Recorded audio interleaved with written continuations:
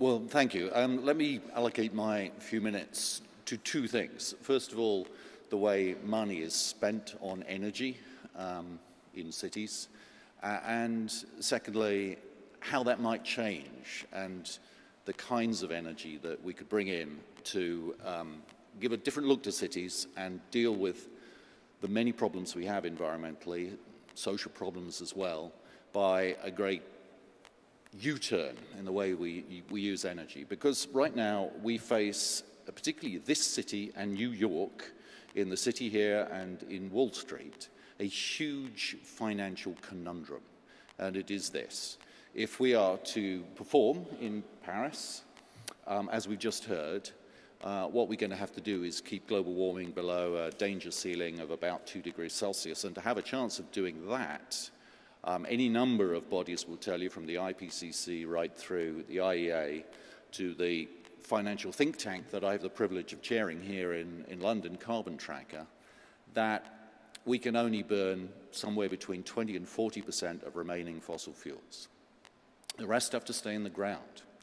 Uh, and right now, um, those deposits underground are accounted by the fossil fuel companies as though they are assets at completely precisely zero risk of being impaired in value. And that's dysfunctional. It's a dysfunctional as aspect of the entire capital markets. And some of you here, I'm sure, following the work of Carbon Tracker in the reports that the brilliant analysts in that team that I have the privilege of chairing uh, produced in 20, uh, 2011, uh, 2013, and then again this year. Three reports. I won't go into detail of them. I don't have time. But uh, basically, we go company by company and stock exchange by stock exchange, getting ever more granular, looking at where there is risk of money being wasted. Now, here's the other thing. These uh, deposits that I've been talking about are existing proved reserves. And right now, these companies go out every year and they, they spend every year hundreds of billions and over years, um, numerous trillions in trying to turn resources into reserves and put them on their books as assets at precisely zero risk of, of impairment. And if you're not following this drama, please, please do, because uh, in 25 years of working on climate change, I've never seen a theme get traction so quickly as this has, particularly over the last year. And as people like to say in the City of London, the markets are moving already on the recognition that there is risk that assets might be devalued, that money spent on capex going forward might be wasted. Almost whether or not the climate um, negotiators deliver in Paris, it's the risk that they might do so in the minds of the capital markets that's creating the interesting drama. And there are two themes to this. One is divestment, uh, and we're seeing right across the world in cities, um, on university campuses, foundations, and yesterday, God bless them, the British Medical Association divesting from fossil fuels, saying we're not going to invest in fossil fuels anymore. We're going to invest in clean energy going forward. That's one uh, way. The other way that um, in Carbon Tracker we think is actually more interesting is people stay invested in energy companies and are beginning to put serious pressure on the capital expenditure plans of these energy companies.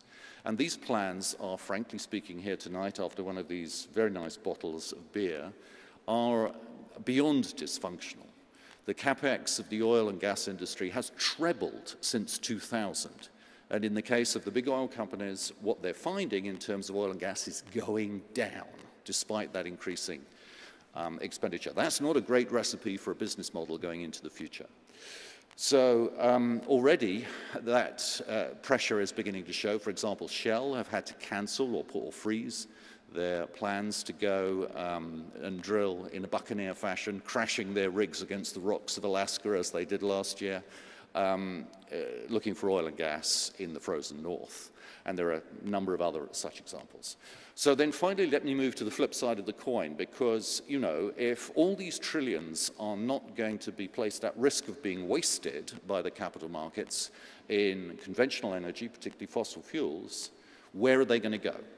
And here we come to clean energy, and if I may be unashamedly a pro-solar here, those of you who know me know that I set up my solar company because of my fears about over-reliance on fossil fuels. Um, others who don't know me so well or who don't give a damn say that don't believe any, anything this guy says because he's got a dog in the race and simply wants to sell more solar panels. But here, here's my thought. Right now, um, that we're on a cusp of a revolution with this technology. Uh, again, here in the City of London, analysts talk about a terrordome, a very evocative term. A terrordome refers to the systemic cost down in the manufacturing of solar. And if you plot it, as Alliance Bernstein have done recently, against the typical lifespan of a fossil fuel project, that's a couple of decades or three, uh, uh then from 2006 to the present day, there's something that looks like a vertical, near vertical wall. And that's what they call the terrordome because of what it's doing to the business models of utilities already, along with our sister wind. Uh, in Germany, for example, 25% uh, of electricity now over the year is coming from solar and wind, and that's going to increase going forward. Uh, and it's destroying the business models, the profitability of utilities, just at that small level of contribution to global primary energy mix. And what it's going to do going forward, because these trends are going to continue, there's nothing to stop the cost down in solar. We will intersect with the cost down that's happening in batteries as well. And Alliance Bernstein, McKinsey's, and others will tell you that what's coming for the oil and gas industry, because their problems are already, is that there's going to be this suite of technologies which London can be and should be and must be in the front row of developing, will be able to create a death spiral in the business model of the traditional oil and gas companies as well.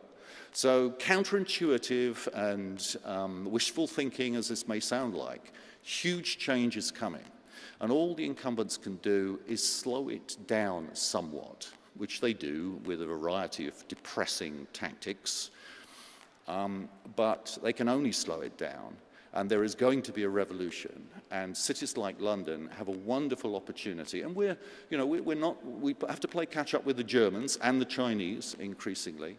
But, you know, as you go around this city now, you can see elements of this future. Go look at Blackfriars Bridge, the biggest solar bridge in the world, which my company put up um, a solar-powered uh, bridge, which you know is a sort of icon of what can be done in, a, in, in an aesthetic way within the built environment. We don't need great big power stations on the fringes of our cities. We can build them in to our cities going forward. So both in the financing of the future and the actual visualization and creation of it, we have big opportunities in London, and I very much hope we take them.